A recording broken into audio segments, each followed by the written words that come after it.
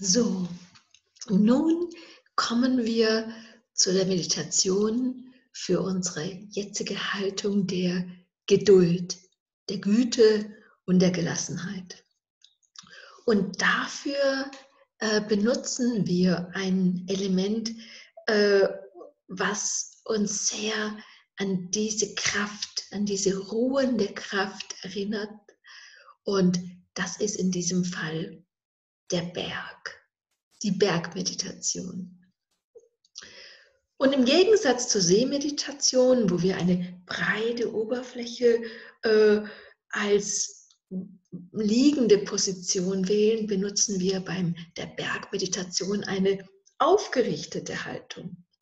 Und du kannst jedes äh, Hilfsmittel benutzen, das dich darin unterstützt in dieser Aufrichtung. Eine, die Lehne eines Stuhls oder auch, äh, wenn du sitzen kannst, ohne Lehne, da die Aufrichtung. Du kannst dir ein Meditationskissen, eine Decke, äh, ein Kissen, was immer dich dabei unterstützt, zu sitzen. Auch gerne im Schneidersitz, aber das ist nicht notwendig.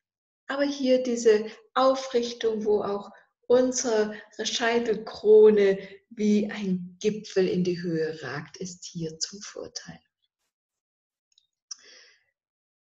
Während du dich jetzt äh, hinsetzt und dir eine ideale Position suchst, so wie sie dir angenehm ist, ähm, schauen wir mal etwas, was Berge eigentlich, die Faszination des Berges ausmacht.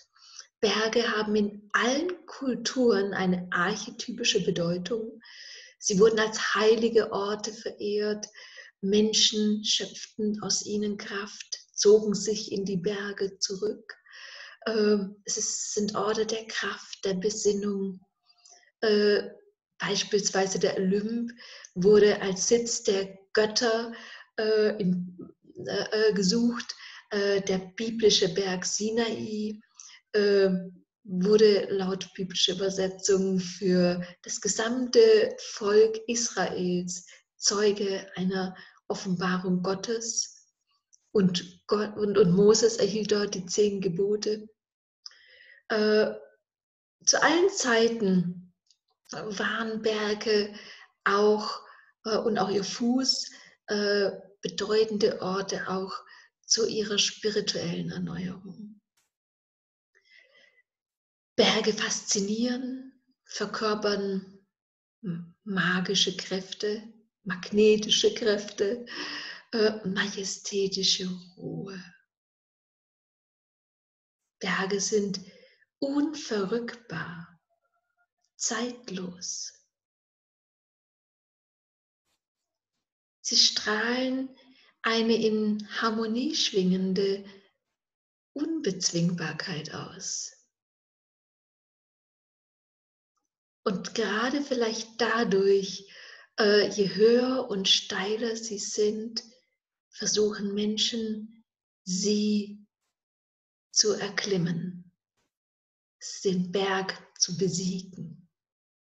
Vielleicht um sich mit ihrer Kraft zu identifizieren, die Kraft des Berges in sich aufzunehmen, um sich vielleicht für den Moment mit dem Berg in seiner Majestät, in seiner Kraft ebenbürtig zu fühlen.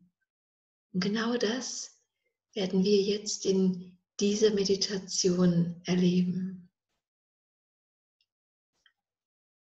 Denn wir können uns diese wundervollen Eigenschaften verinnerlichen, um unsere innere Haltung und Entschlossenheit zu stärken. Das Bild des Berges vor unserem inneren Auge aufzubauen, hilft uns, unsere Achtsamkeit zu stärken. Der Berg als Symbol für das Verweilen in der Gegenwart und Stille.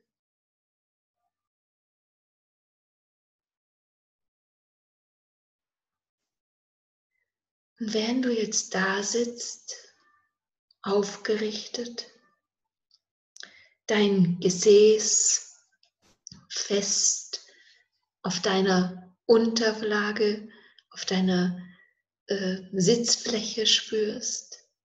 Auch wahrnimmst, wie der Atem in dich einströmt.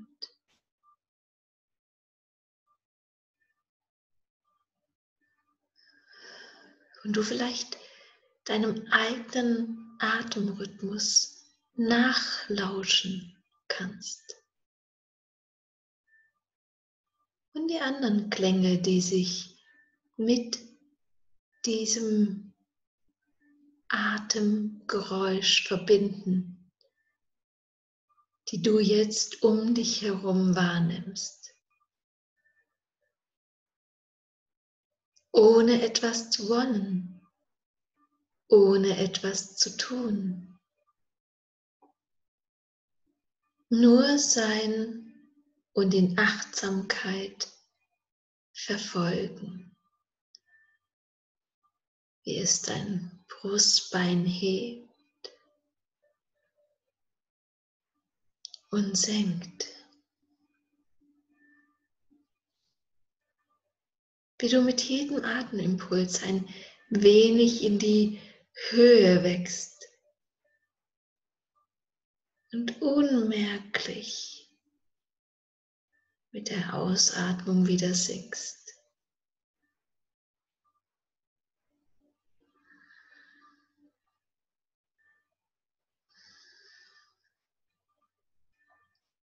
Nimm wahr, wie es dich atmet.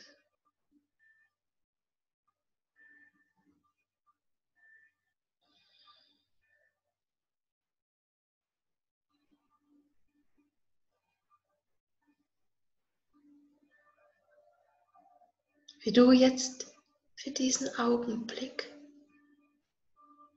deine eigene Schöpfung erfährst. Im Sein und nicht im Tun.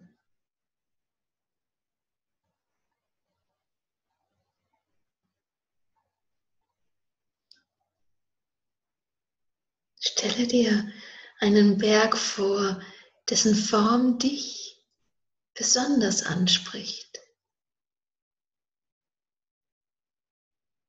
Beachte seinen aufragenden Gipfel, wie auch seinen fest ruhenden Fuß. Die steilen und sanft abfallenden Flanken.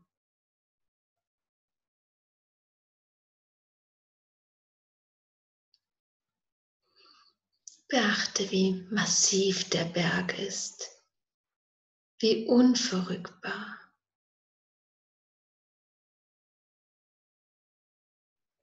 Unbewegt. Wie wundervoll.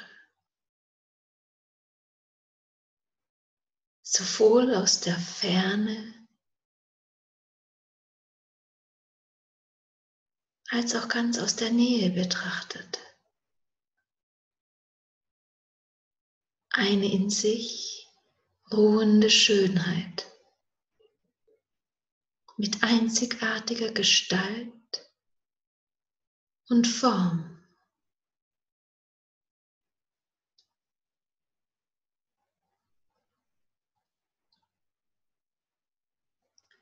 Vielleicht hat dein Berg eine besonders hoch und spitz aufragenden Gipfel. Vielleicht auch mehrere ineinander verzahnte Zinnen oder ein flaches Plateau einer langen Tafel gleich.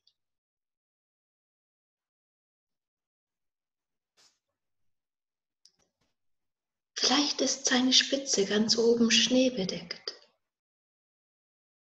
vielleicht im Nebel verborgen. Oder ragt überragend aus ihm empor,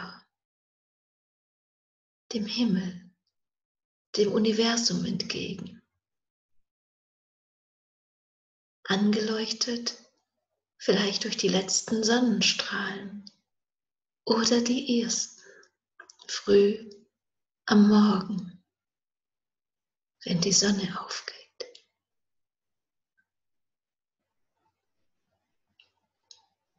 Trägt der Gipfel ein Kreuz?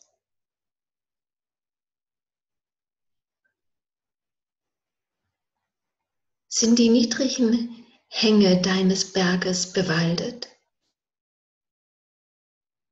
Oder gibt es Flächen aus Stein und Geröll? Ragt der nackte Fels vielleicht weit bis zum Fuße hinab? Sitze einfach da und beobachte das innere Bild eines Berges. Was kannst du alles sehen? Was erkennen? Mache dir all seine Eigenschaften bewusst.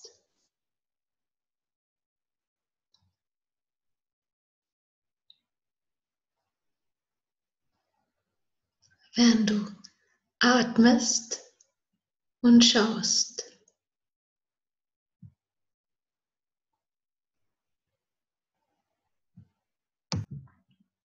Versuche nun den Berg in deinen eigenen Körper zu versetzen, sodass dein Körper und der Berg vor deinem inneren Auge eins werden.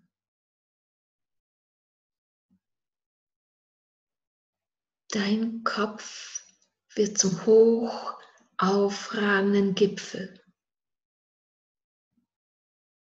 Deine Schultern und Arme werden zu den Bergflanken. Dein Gesäß und deine Beine werden zum Fuß, zur massiven Basis, die mit dem Kissen oder dem Boden oder dem Stuhl fest verwurzelt ist.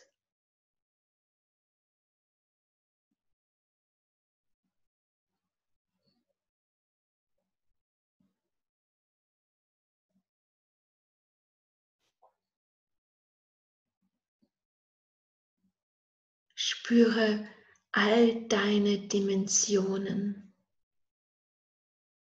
deine Ausmaße.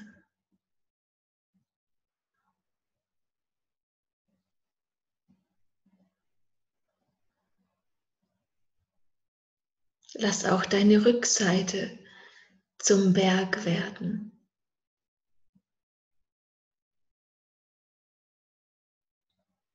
ebenso wie die Vorderseite deines Oberkörpers.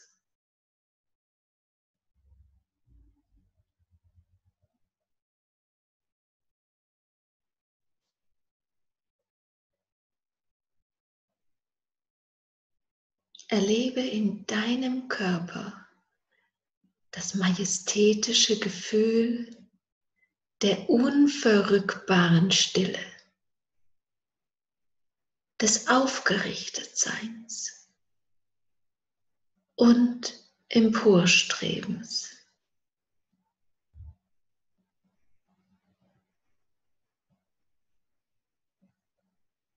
Ich bin hier und jetzt ganz aufmerksam verfolge ich diesen einen Atemzug.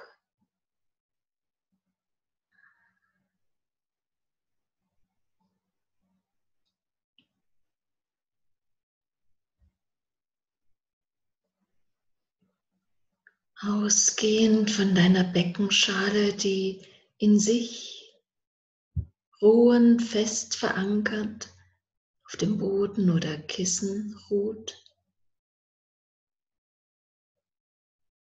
die jeden Atemzug aufnimmt.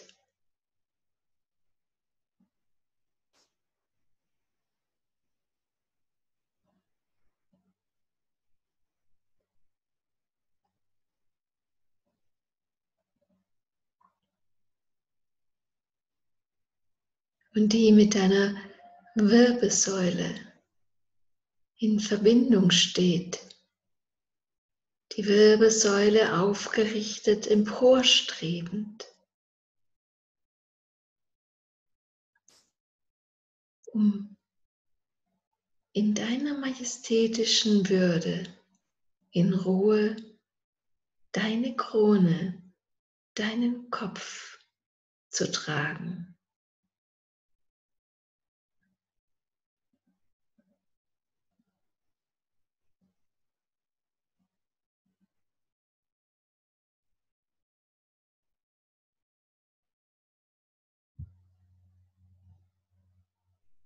Die Säule deines Körpers.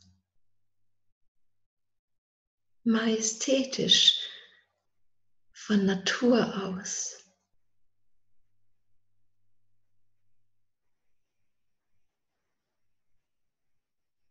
deren Bestimmung die Aufrichtung ist.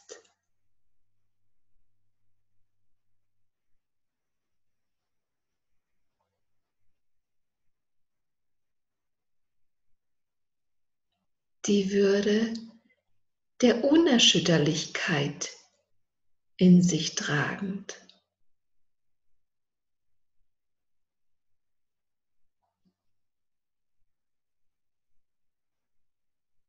Ganz und gar das, was du jenseits von störenden Gedanken, Worten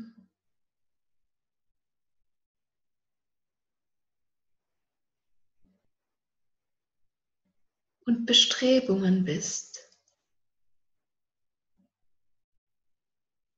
Eine zentrierte, verwurzelte, unerschütterliche Präsenz. Hier und jetzt. Atemzug um Atemzug. Immer mehr zum eigenen Berg werden. In sich ruhend. Während die Sonne über den Himmel wandert, Licht und Schatten und Farben sich von Augenblick zu Augenblick verändern.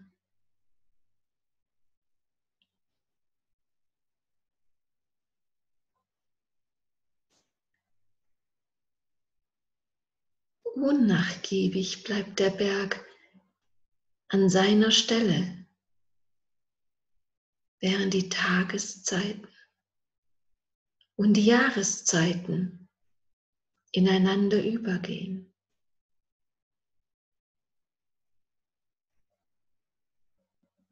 Das Wetter sich Augenblick um Augenblick, Tag für Tag und Jahr für Jahr verändert. Stille, die alle Veränderung überdauert. Wir erleben die Gedanken, die wie Wolken vorüberziehen. Wir nehmen sie wahr, aber halten sie nicht fest.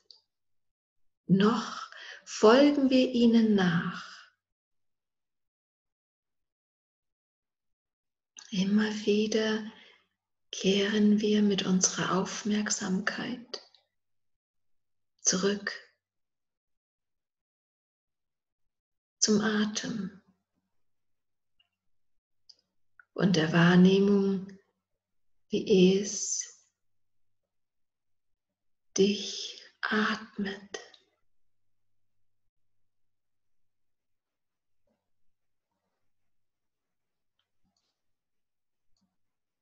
Im Sommer liegt kein Schnee auf dem Berg, vielleicht nur die höchste Spitze. Oder in den Senken, die das direkte Sonnenlicht nie erreicht. Im Herbst ist der Berg vielleicht mit einem Rock aus feurigen Farben verhängt.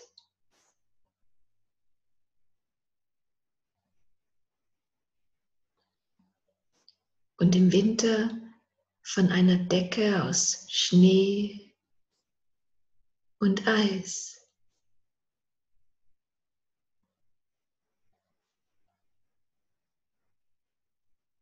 Wenn der Frühling kommt, auf den Berg Wiesen und Hänge erblühen mit leuchtenden Blumen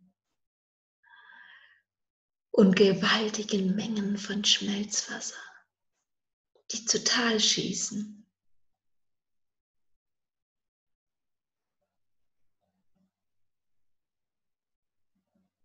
Das alles nimmt der Berg wahr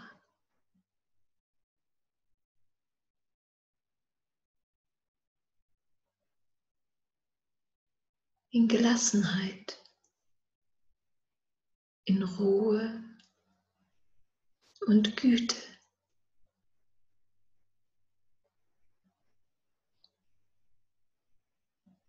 Gelegentlich ist der Berg von Wolken oder Nebel umhüllt, so wie es uns geht, wenn wir in Gedanken sind. Und dennoch hören wir nicht auf zu sein. Manchmal tobt ein Witter, Gewitter um den Berg, tosen heftige Stürme, auf ihn passelt Regen nieder, Eis und Schnee. Doch dies alles lässt ihn gleichgültig, ob er zu sehen ist oder nicht ob er im Sonnenlicht liegt oder von Wolken verhüllt, ob es glühend heiß oder eiskalt ist. Der Berg ist einfach nur da und ist er selbst. Leidenschaftslos, bedingungslos. Denn während all dies geschieht, Sonne, Wolken, Sterne sich um ihn drehen, hört der Berg nicht auf zu ruhen. Keine Jahreszeiten, kein Wetter, noch sonst etwas. Von dem, was auf seiner Oberfläche geschieht, kann ihn im Innern beeindrucken.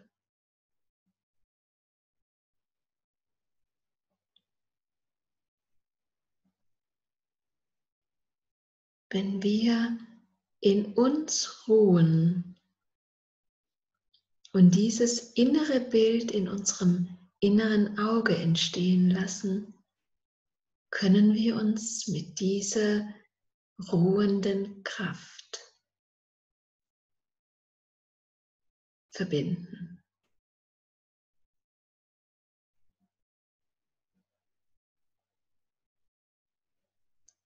Auch in Angesichts von Veränderungen in unserem Leben.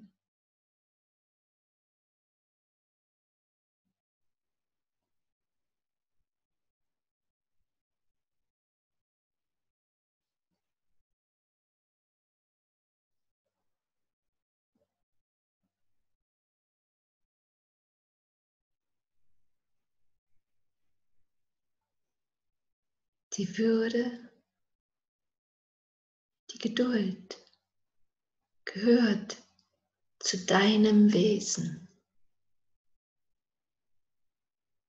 auch die majestätische Kraft,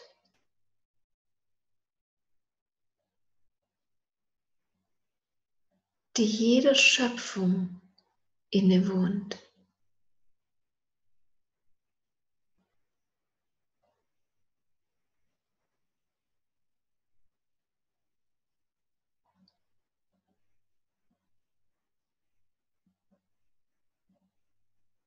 Denn du bist Offenbarung geworden.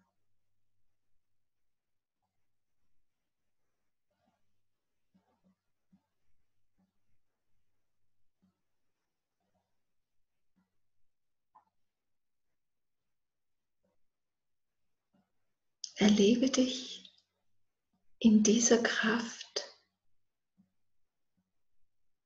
und lass dich von ihr segnen.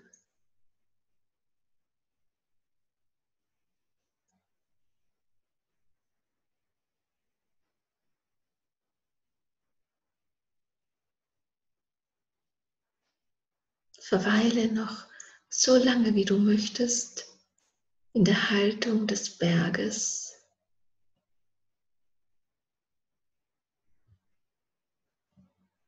Und jederzeit, jeden Augenblick in deinem Leben, wo Veränderungen, wo Ereignisse drohen, dich aus deinem Gleichgewicht zu bringen. Komm zurück an dieses Erlebnis der Ruhe, der Geduld, der Gelassenheit in dir und der Güte zu allem Lebenden und vor allem auch zu dir. Dankeschön.